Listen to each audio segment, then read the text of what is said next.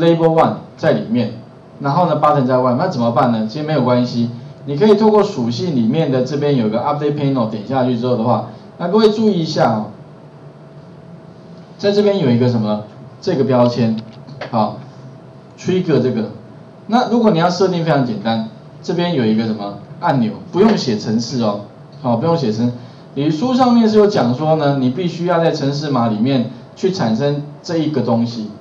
那这个东西怎么产生的呢？有没有 trigger 开头 trigger 结束？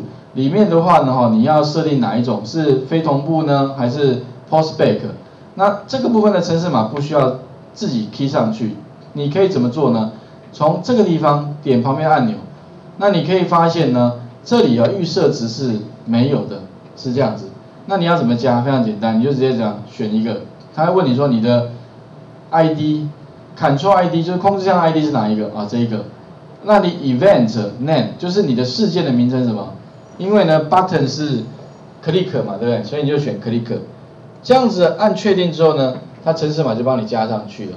好，所以这部分的话，当然你可以自己 key 上去，你也可以让它自动产生，直接在 Object Panel 里面去找，按确定就可以了。哈，那这边把它取消了，因为已经写完哈。